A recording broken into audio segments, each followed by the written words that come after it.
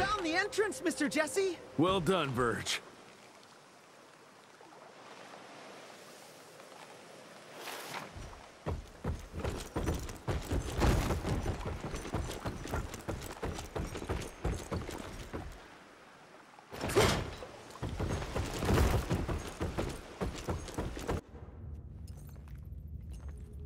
Is it safe yet, Mr. Jesse? Well, as long as you can grope your way for the coils here. Well, I'm fine, sir.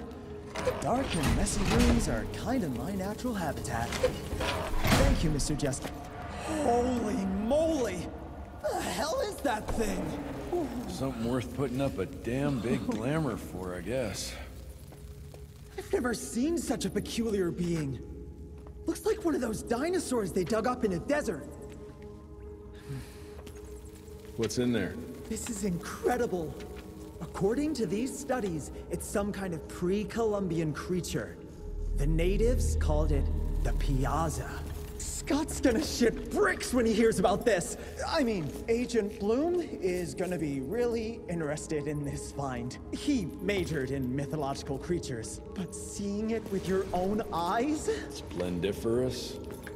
That freaky kid's building an army of foul bloods.